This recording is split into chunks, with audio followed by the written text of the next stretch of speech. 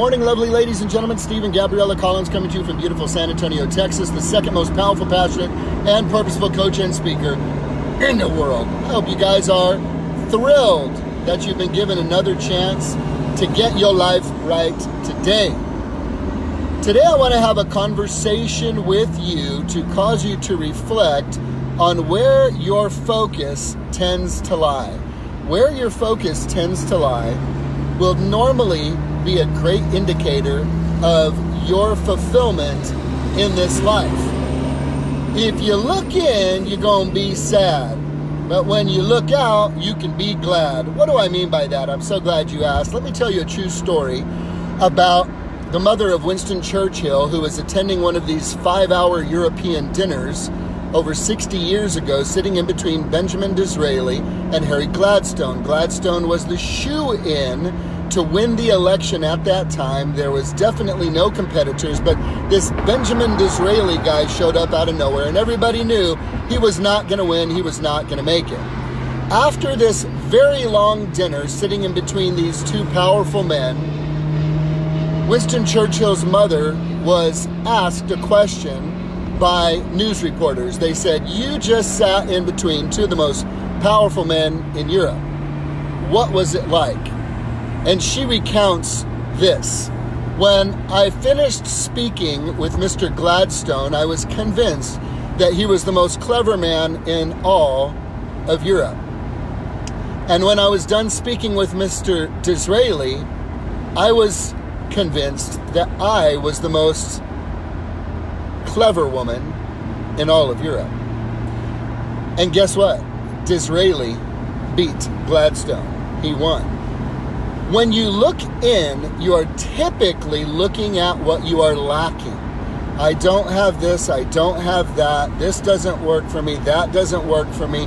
And there's a self reflection that is extremely critical, focused again on what you are lacking or what you do not have, which leads to people feeling sad.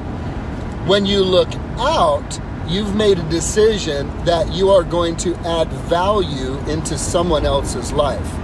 You're going to get out of your own head and think about the other person. You're not going to be sitting across from somebody waiting for them to shut up so you can say your point. You have disciplined yourself to engage in the moment, truly listen to understand, and then you have an opportunity to speak into their life and add value. You see, when you look in, you tend to be sad. When you look out at others with a desire to serve, you can be glad. My man, Jesus said it this way Whoever looks for his life will lose it. But whoever loses his life for my sake, in service to others, we will insert Steve Collinsism.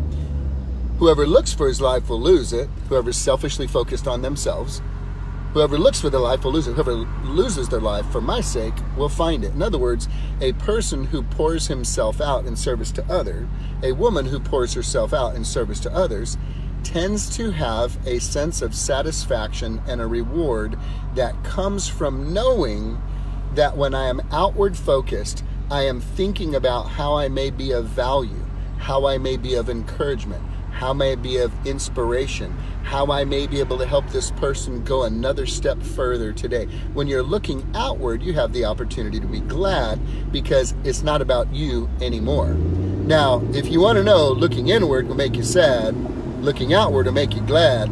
But let me tell you what will make you bad, bad, bad. It's looking up. Because you see, you can't really look out to pour out unless you look up first and get your vertical relationship right, where you can be poured into by your Creator who is full of unconditional love, grace, and mercy. When your Creator, the Lord Father God, pours into you, you now have an abundance that overflows out of you that can go out to others around you. Oh, you look up, you gonna be bad to the bone because then you look in, you might be sad but you look out, you have a chance to be glad because you are no longer focused on you or what you don't have or what you are missing or what's not right because you realize that you are enough currently to encourage, motivate, inspire, and just bring hope to another person. You see, when, when you make your life about serving other people, you have a great opportunity to experience a fulfillment that you would not receive any other way. So, my hope for you today is that you choose to stop looking inward in lack and start looking outward in love, unconditional love, favor, showing somebody honor and grace and respect.